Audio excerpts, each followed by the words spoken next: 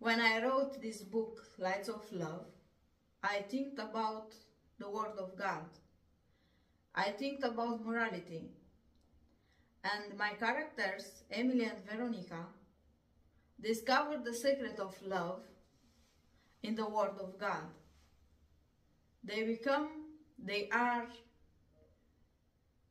the characters of morality. They discover the morality of love and they put them love and the word of God. And the word of God become like a light in them life.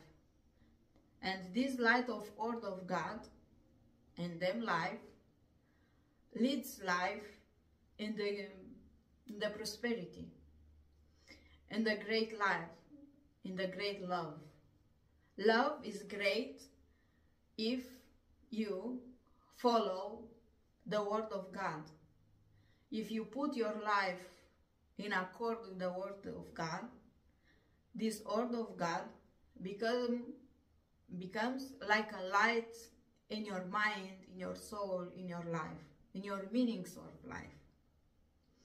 Discover the secret of love like a light of word of God while reading and live in my old of my novel Lights of Love.